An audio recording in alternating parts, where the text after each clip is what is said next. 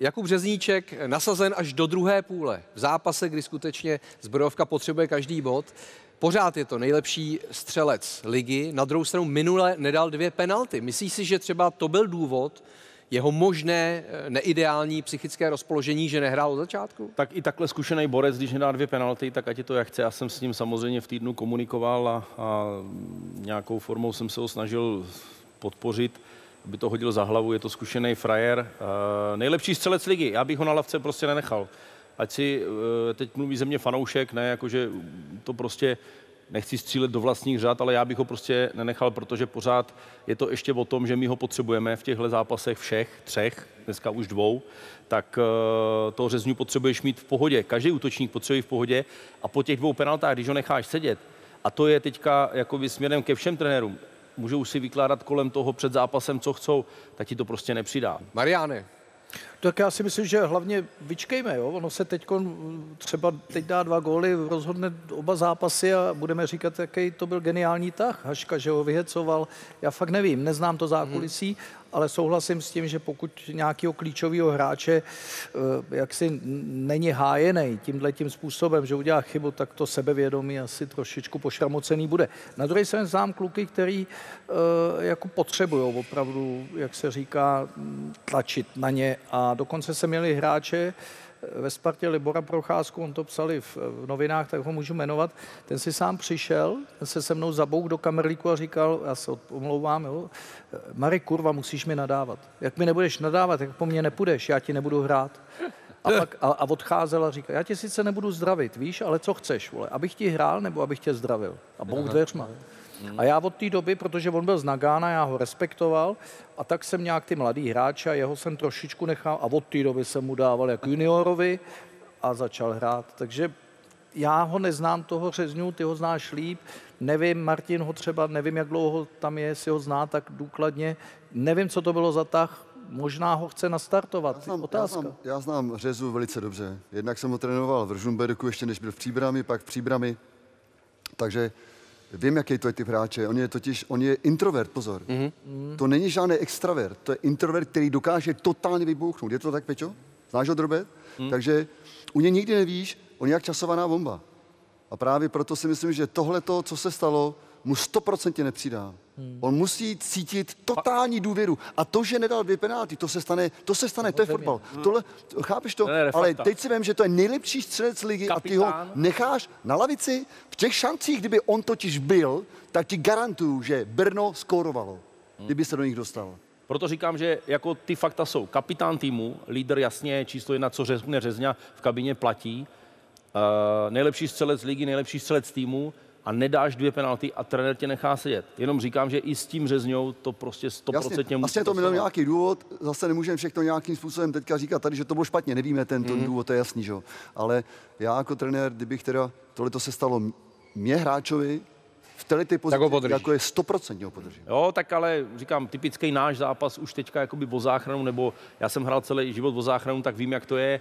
Najednou nedáš i takovou tutovku, co nedal Endl. Ne, že ju nedáš, ty vlastně netrefíš bránu. A to je prostě souboj eh, nebo boj o záchranu, kdy tam není ta, ten klid v té palici. Pohoda, no, jo, takže nechci omlouvat kluky, eh, prostě mě zajímají už teďka jako fandu hlavně výsledky a fanoušci jsou jako naštvaní, eh, pouští se do majitele, pouští se do sportovního ředitele, pouští se do hráčů.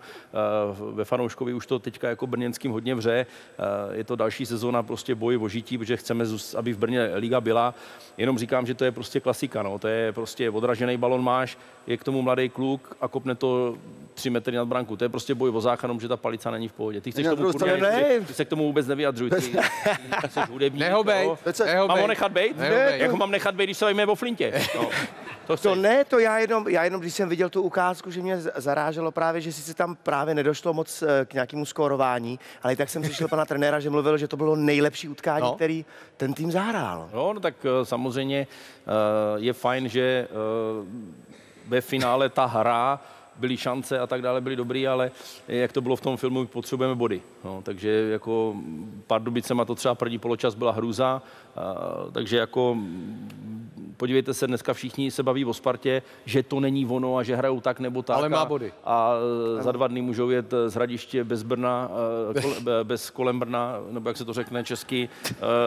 e, Řekne se to kolem Brna, no. No, tak A nebo přes Brno. Be, bez kolem Brna jsem chtěl říct. A řekni mi, kdy konečně bude Brno hrát doma. Poněvadž pro mě to není stadion, kde by Zdrojovka měla hrát. To mi říkají, co chceš, to asi jako kdyby Sparta hrála na Strahově, nebo Slávě na Strahově, zapomeň. Dokud se nevrátí Zbrojovka zpátky domů, budou problémy. Jo. A ty fanouškové tam nepůjdou, oni to ví. Já jsem trénoval Slován Bratislava a hráli jsme na Pastěnka. Ty fanouškové jasně řekli, dokud nebudeme mít těhelní pole, konečná. A taky to podle toho vypadalo. A podívej se, dneska vládnou zase slovenské lize, hrajou Evropskou ligu, hrajou konferenční ligu, takže tady vidí, že Zbrojovka potřebuje svůj stadion jako kdysi. A Franto, Franto, Sparta bude hrát asi na Strahově, ale... No, No, b- mě to neříkej, že jo? to asi tak bude, no. Ale to bude průser, co? Já nevím.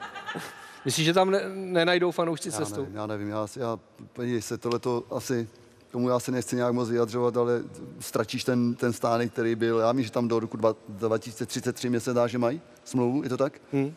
A pak se asi pravděpodobně budou stěhovat. Hmm, to hodně Spartanů těžko bude koupit.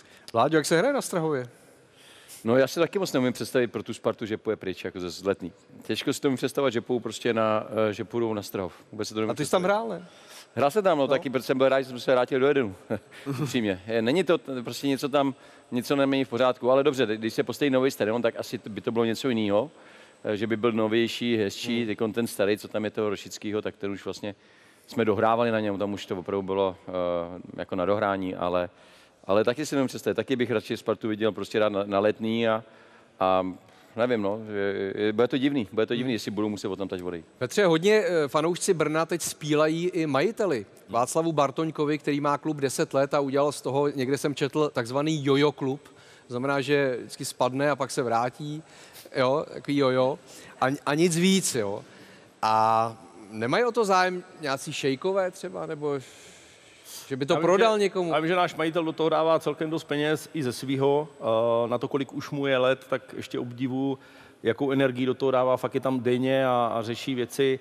Teď jsem se s ním z okolností ba- bavil i z, jak jsou nastavený dneska smlouvy s hráčem a dneska ten hráč je strašně chráněná Osoba. osoba, eh, ať už je to jeho manažer, ať už je to jeho vlastní smlouva, protože když tu smlouvu neuzavřeš třeba jako majitel tak, jak je uzavřená, tak ti hráči tam prostě nechcou jít, je tam trošku taková ta smlouva jakoby jistoty, to znamená, těžko se mu pokutuje, těžko se ho vyza, vy, eh, vyřazuje z kádru, je to strašně složitá věc.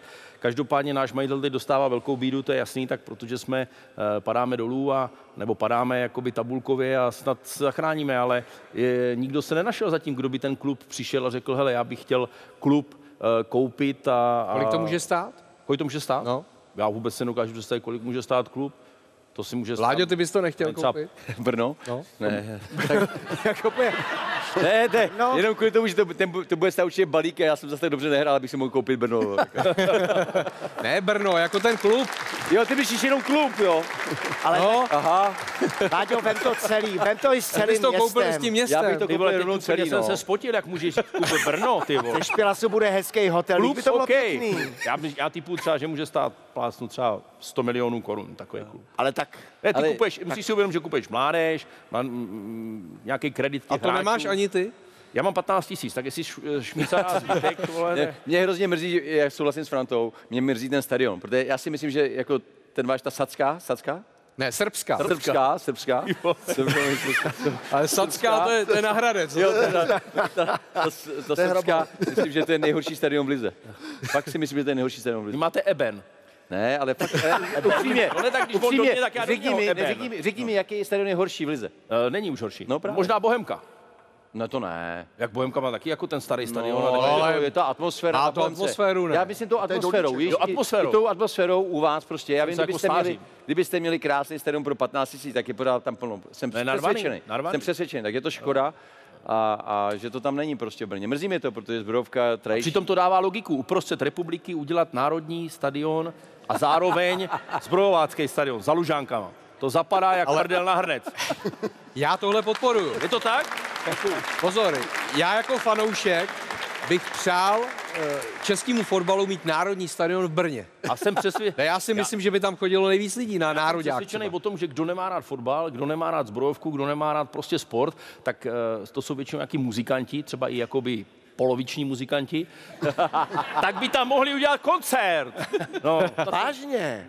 o tobě se nikdo nebaví. Ale, vy by to, ale vy by to, mě by to taky nevadilo mít národní stadion jako v Brně, by to taky nevadilo. Je to uprostřed republiky, rozumíš, všecko v pořádku. Teďka ta evropční, jak se jmenuje ta konfer, kom, konferenční liga, mohla by se hrát tam, kdyby to bylo třeba pro 30 A tisíc. já si myslím, že bychom jako stadion pro 40-50 tisíc málo využili jako v Čechách. Že opravdu, No tak jako, jasně, je jestli to- to je úplně dobrá myšlenka mít národní stadion. Jako. Já myslím, že tyhle ty 20 tisícový stadion jsou pro nás dobrý a hold u nás nebudeme hrát tady ty finále, jako, ale nevím, kdo by u nás uživil stadion na 40-50 tisíc, nevím. Já jsem zatím nejvíc lidí v Brně viděl na bleším trhu, tak když tak by se ten stadion mohl používat vlastně na tom stadionu.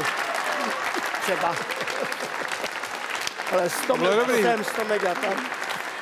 Chceš asi namasírovat, vej. Vždycky se na mě takhle otáčí, když To bylo dobrý, ano, ano, ano. Eh, Ještě se nikdy nikomu takhle neotočil. Ty si teďka ťal do živýho, to bylo pěkný. Sledujte kanály O2 TV Sport, kde najdete další zajímavé ukázky a rozhovory.